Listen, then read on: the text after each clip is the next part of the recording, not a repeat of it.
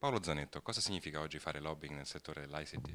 Significa gestire un sistema complesso di relazioni tra player diversi che competono all'interno di un mercato delle regole per cercare di uscirne favoriti.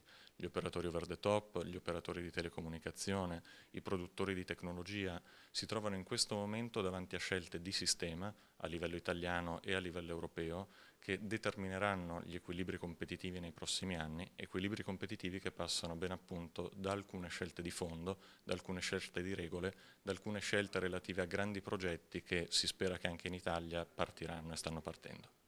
Dov'è che si prendono oggi le decisioni che contano nel settore ICT?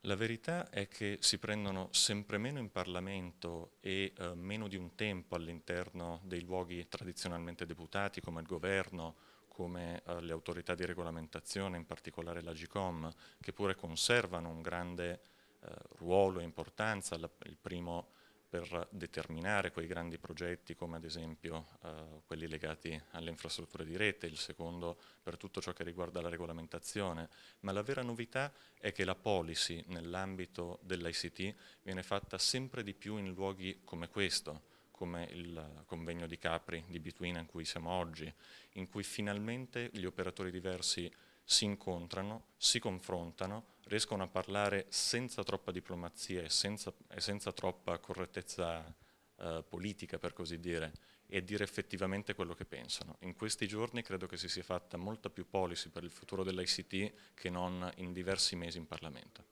Insomma, per, per il settore dell'ICT serve un luogo dove fare networking informale, così come insegna la rete.